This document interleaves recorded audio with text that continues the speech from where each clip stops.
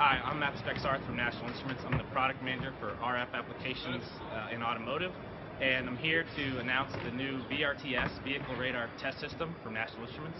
This system is built on PXI, uh, second generation vector signal transceiver, coupled with a millimeter wave radar front end from 76 uh, gigahertz to 81 gigahertz, and the system is capable of full object emulation uh, with a gigahertz of bandwidth or one gigahertz radar sensors uh, with object emulation down to 4 meters and up to 300 meters.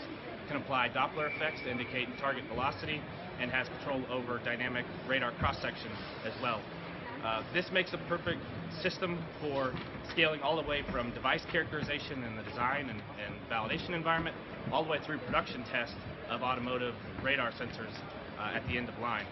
Uh, the system can do both functional tests with object emulation throughout its entire range and the relevant RF characterization measurements such as beam uh, calibration of the, uh, the, radar antennas and uh, spectral occupancy and a whole suite of uh, radar measurements.